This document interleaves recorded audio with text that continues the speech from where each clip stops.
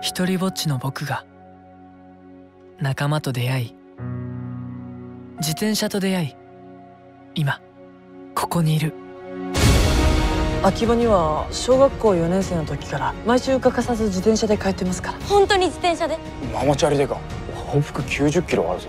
アニメ好きの高校生小野田坂道が出会った自転車競技部。総北高校言うたらインターハイ常連の超強豪校や。試してみたいと思ったんだよろしくな。お待たせ。これが君のロードレーサーだよ。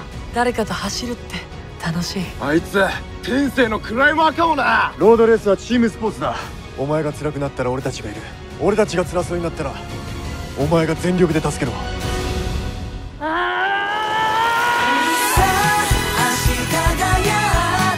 先頭で坂を駆け上がる。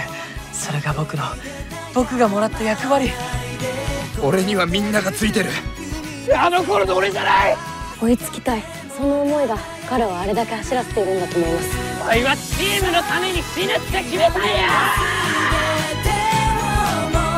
小野田はそういうのきっちり守る男なんだわなんでお前は走ってる？行くぞ坂道！約束したんですゴールまで届けるって！弱虫ペダル